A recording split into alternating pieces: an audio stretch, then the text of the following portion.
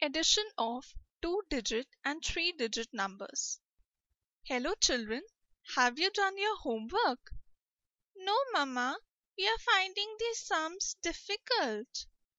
Let me explain this to you. We find the sum of numbers by adding them. Addition is counting forward. Let's learn to add two-digit numbers. In addition of two two-digit numbers, we will first add the digits at the ones place, then add the digits at the tens place. For example, let's add 28 and 71. We will first add the ones. 8 plus 1 is equal to 9. Then we add the tens. 2 plus 7 is equal to 9. So the sum of 28 and 71 is 99.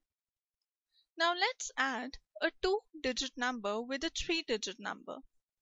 To do so, first add the ones, then the tens, and finally keep the hundreds.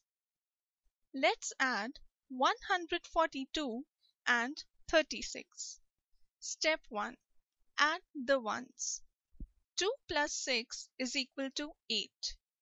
Step 2. Add the tens.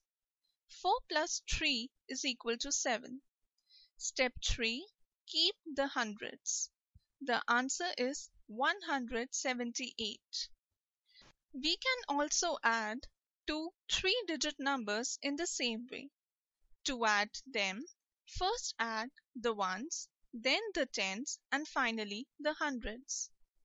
Let's add 253 and 326. Step 1. Add the ones. 3 plus 6 is equal to 9. Step 2. Add the tens. 5 plus 2 is equal to 7. Step 3. Add the hundreds. 2 plus 3 is equal to 5. The answer is 579. Mama, can we add three three-digit numbers also? Yes, dear, we can easily do it. To add three three-digit numbers, we follow the same steps that we follow to add two three-digit numbers. Let's understand this with an example. Step 1. Add the ones of the first two numbers. 3 plus 2 is equal to 5. Add the sum 5 to the ones of the third number.